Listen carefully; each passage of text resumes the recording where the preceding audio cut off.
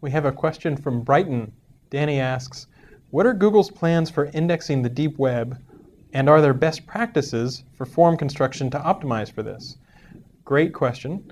Um, we recently published a paper in VLDB, which I believe stands for Very Large Databases, um, that talks exactly about our criteria, all the ways that, that we try to do it safely so that if people don't want their forms to be crawled, we won't crawl them.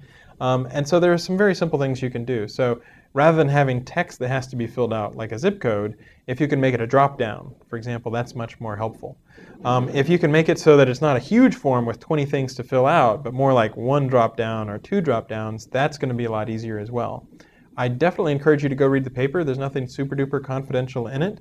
Um, and of course, if you can make it so you're not part of the deep web, if you can take those pages that's your database and have an HTML sitemap so that people can reach all the different pages on your site by crawling through categories or you know geographic areas, then we don't have to fill out forms. And Google's a pretty good company about being able to index the deep web through forms, uh, but not every search engine does that. And so if you can expose that database somewhere where people can get to all the pages on your site just by clicking, not by submitting a form, then you're going to open yourself up to even wider audiences. So if you can do that, that's what I'd recommend. But if you can't do that, then I'd say uh, check out this paper from the VLDB conference where the, the team talked about it in more detail.